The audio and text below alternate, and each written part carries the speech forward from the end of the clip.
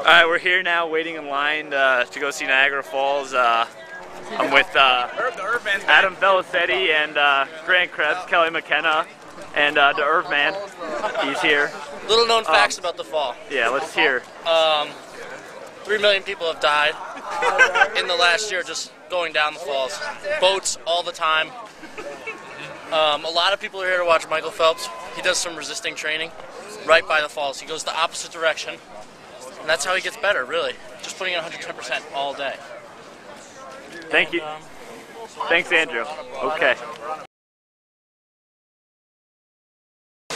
Uh, there's the Canadian side of Niagara Falls. Uh, they weren't obviously, yeah. They weren't cool enough to get inside the Niagara Falls. They were a little scared. They can't Um, understand what we're saying. Yeah. From the boat. Hello, hello, Canada. Still trying to figure out a way to communicate with them. We've tried hand signals. They don't seem to be working. All attempts have been unsuccessful so far. Oh, here we go. Let's wave. Everybody wave. Yeah, there's one. Hey. All right. Not responding because they're communists. That guy was probably an American. friendly of people.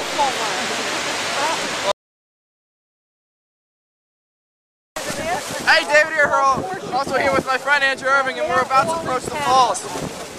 Irving, you have anything to say before we go in? I'm just very, very impressed by these falls. They're really working at 100% today. They're not taking a day off. Oh, we're starting to Oh, get wet. wow, we're starting to get real wet out Oh, here. we're starting to get Here we go. Wow. I hope that's waterproof. it's waterproof enough. It's pretty waterproof. Wow. Yeah. These falls are uh, really coming at you. Here comes some current. Oh, oh, getting getting choppy. Getting choppy. Getting choppy. Oh, God.